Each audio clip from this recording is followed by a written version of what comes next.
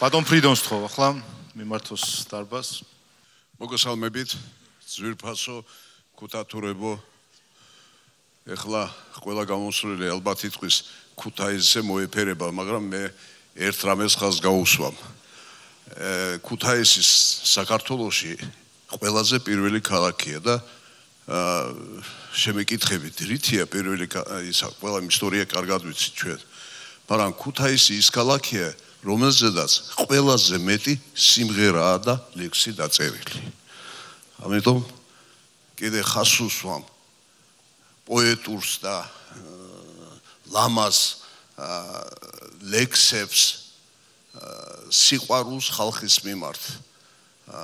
აი წინა მოწვევის პარლამენტში კანონებიც აქ იქნებოდა მაგრამ ეს მეორე საკითხია.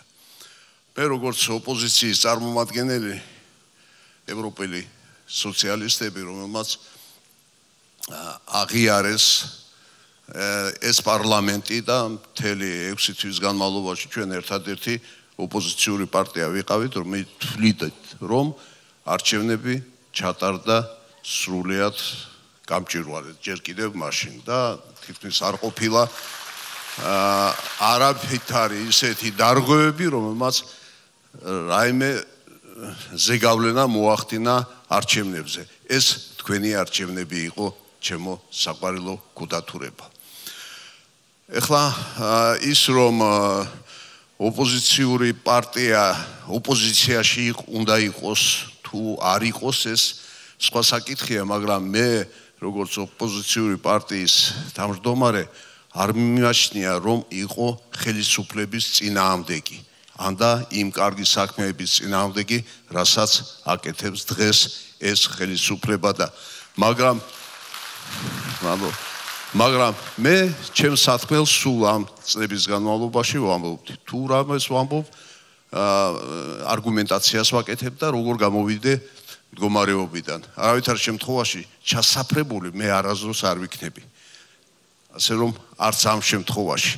ეხლა სარგებლობ შემთხვევით და რადგანაც საერთო სახალხო განხილვა ისეთი საკითხის, რომელიც აქტუალური, სულ აქტუალური ხდება სოფლიოში და ასე განსაკუთრებით ისეთ ქვეყნებში, როგორც ტრადიციული ჩვენი ქვეყანა.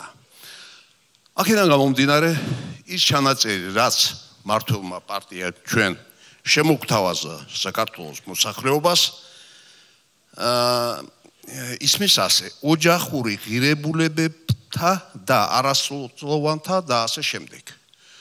მე მაგალითად ჩემი შეხედვით აქ მე შევცვლიდი რას? და ერთ სიტყვას მეორე სიტყვით. ოჯახური ღირებულებების მაგიერ მე ჩავწერდი. ქართული ღირებულებების. რატომ? ოჯახური ღირებულებები ეს არაფერი არ შეგვითანხმები, არც გვისაუბრია, მაგრამ აი მე ვამბობ კიდევ, რომ სარგებლობ შემთხვევით. აქვს ისეთი ღირებულებები, მათი გადასახედიდან, რომ ჩვენთვის სრულიად მიუღებელია. ამიტომ მე წავედი ცოტა წინ და თავაზობთ განხილვისთვის, რომ სიტყვა ოჯახური ღირებულებები შევცვალოთ ქართული ღირებულებებით. და ამაში ოჯახურიც არის. ამაშიც ის ტრადიციებიც არის. ის ძალა, რაც ყველა ქართველი სულშია და რომელმაც გადაარჩინა საქართველო საუკუნეების უკან იყო იმპერიები, იმათი ნატამალი არა, მარტო ქვაზე დარჩა ქართველი კაცი და ქართული სახელმწიფო იქნება მანამ სანამ დედამიწა იტრიალებს. თქვენით ჩემო კარგებო თუ მისაღებია განვიხილოთ მადლობთ ვიმჯელოთ. მადლობა. გაიხარეთ. მადლობა ბატონო. გამრავლება თქვენ თქვენს ოჯახებს ქართული ღირებულებებით. მადლობა ბატონ ფრიდონ